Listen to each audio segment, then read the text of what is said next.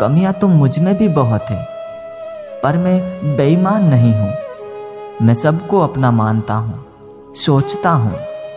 फ़ायदा या नुकसान नहीं, एक शौक है शान से जीने का।